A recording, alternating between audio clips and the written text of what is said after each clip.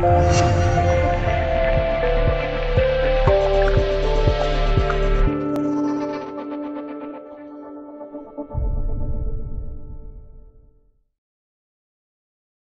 国《每日邮报》报道，英国空军一名女性军人推特 Tinder 账户遭黑客入侵，被利用以来获取美国出售给英国 F 三五 B 闪电二战斗机的机密信息。套路与普通骗子使用的商业欺诈一样，黑客在获取女兵推特账户之后，与一名男兵同时聊天，在简单寒暄之后，就开始聊起了英国刚刚从美国获得的 F 三五 B 战斗机机密信息。英国媒体猜测，此次泄密事件很可能有可能有俄罗斯影子介入，同时也让英国颜面大失。杨宾国评论：虽然套路很简单，盗取女兵推特账户，然后假装女兵本人对男兵实施色诱，最终获得了 F 三五 B 战斗机的机密信息，这整个过程与众多盗取聊天软件账户，然后实施商业欺诈的方法完全一样。只不过这次黑客的目的是军事机密，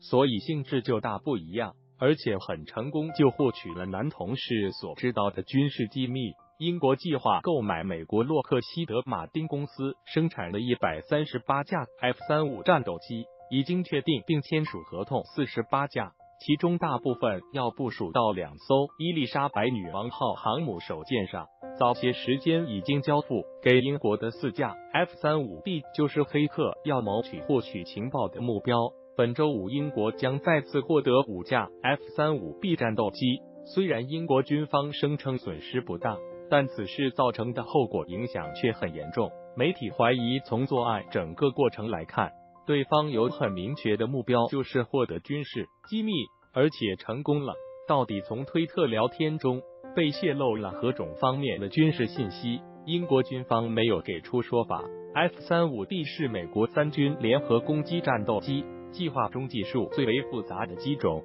因为能够短距垂直起降而著名。目前，除了英国要因核转售技术给美国海军陆战队的 AV 八 B 以外，世界没有同类战斗机服役，前苏联也发展过两款类似战斗机，最终都半路夭折。但后来的雅克一百四十一技术在俄罗斯最困难时期出售给了洛克希德马丁。美国军工在 AV 八 B 技术和雅克一百四十一基础之上，融合自己设计发展出 F 三五 B。从作战参数上看，不管是携弹量还是作战半径。F 三五 B 在纸面数字都没有 A 和从好看，但不可否认的是，在三个类别的战斗机序列中，B 才是最成功的。原因很简单，F 三五 B 同样拥有第五代战斗机所有作战能力，但可以部署到没有弹射器和拦阻锁的两栖攻击舰和航母甲板上，使用更方便，对母舰要求很低。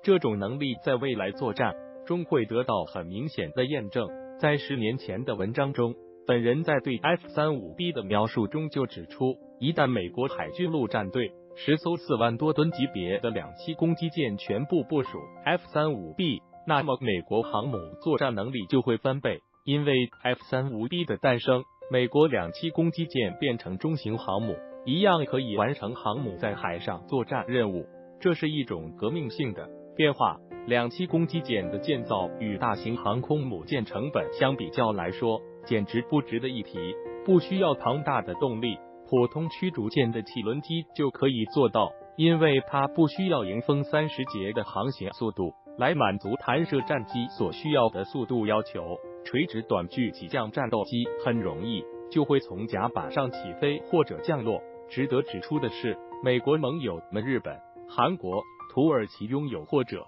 正在建造通直甲板军舰的国家都看到 F 三五 B 的应用前景，纷纷都在谋求拥有。从 AV 八 B 的小载弹量、几百公里的作战半径，而且低亚音速飞行速度相比，F 三五 B 无疑是插上翅膀的雄鹰。最为重要的，美国军工成功把垂直起降战斗机做到了超音速飞行的可能。这种模式前景非常有意义，一旦再突破。能够在载弹量和作战半径上有质的飞跃，就可以淘汰航母弹射器和拦阻索，甚至能够在重型双发战斗机上做尝试。如果那样一天到来，不但改变航母作战模式，而且大大降低航母建造费用。核子猎潜艇原创作品没有授权，不得转发。